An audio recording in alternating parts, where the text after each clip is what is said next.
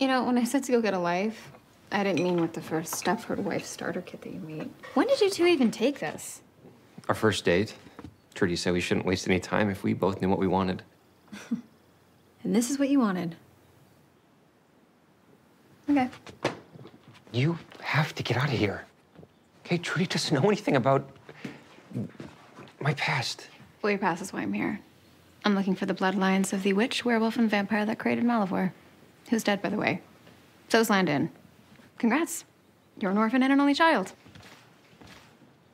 Is non-dairy creamer okay?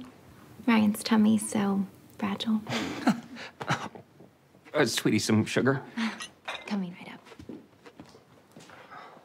up. Oh, she's, um, domestic. And you're obviously the tribrid now. I'm sure something big and scary is going on, but I don't want anything to do with Triad. I'm not that guy anymore. You're going to help me. Or I kill the skirt. Your humanity is off. You know, Trudy, that's a lovely necklace you're wearing. Do you mind if I take a, a closer look? Of course. Ryan gave it to me. Mm. It's even more enticing up close.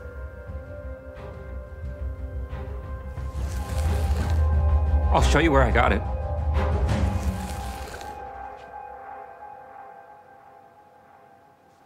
This was the Triad Corporation's data facility.